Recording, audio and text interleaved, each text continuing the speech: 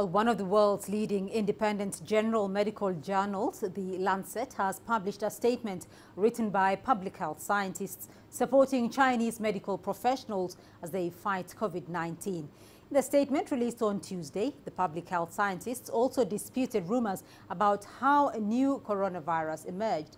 They condemned conspiracy theories suggesting that COVID-19 does not have a natural origin. They also said they stand by the science and health professionals in China and support their fight against the virus.